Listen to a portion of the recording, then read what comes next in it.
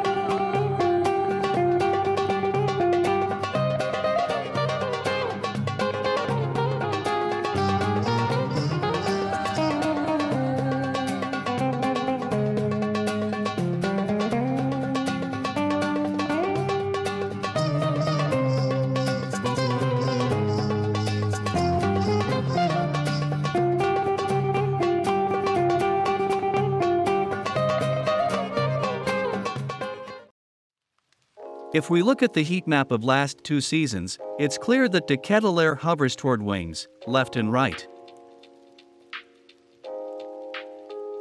A few charts to compare the young Belgian to players on similar role. For attacking stats, he falls around the median of the league. There is no stats that really stick out, putting him on average of Belgium First Division. As an attacking midfielder, he stands out for dribbles and crosses.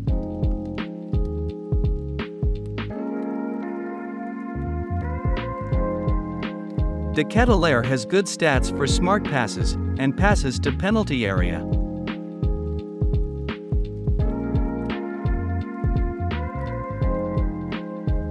For defensive stats, he is good for interceptions.